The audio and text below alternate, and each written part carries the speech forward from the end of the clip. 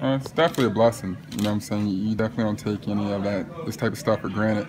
You know, show you're, you're appreciated. You know, uh, the Ohio State is so close to my heart.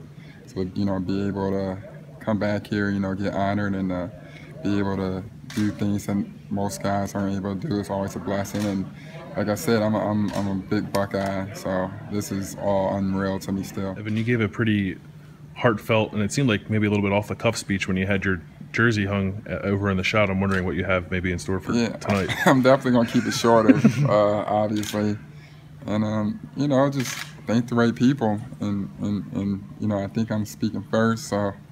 There's, there's really no standard, so I'm gonna set the standard, and then you guys can talk about how whoever else, Jantel or whoever else is speaking, was way better than mine, you know. but for at one point in the night, I'll be the best speaker.